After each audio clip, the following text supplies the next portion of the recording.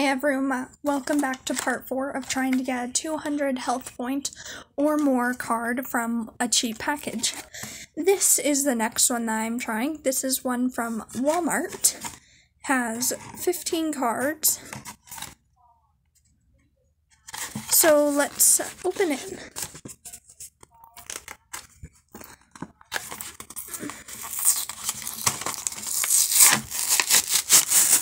These ones are kind of easy to open.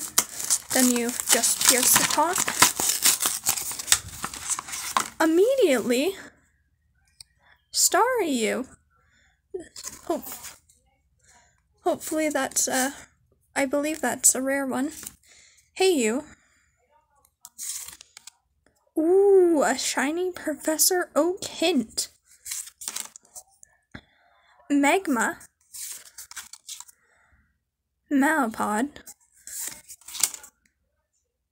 Scyther? Is that how you say that? Clefairy. Caterpie. Parasis. Ekans. Farfetch'd. Normal Graveler. Charmander. Pikachu. Slowpoke, and an Clefairy. All these are some pretty good finds, I'd say. But are any of them 200 health points? I didn't actually look. Uh, nope. Nope. Nope. Nope. Oh, let me just. That's a hundred. Nope. Hundred away. Eight. Nope. Nope. Nope. Nope. Nope. Hundred away. Sadly. Nope. Nope.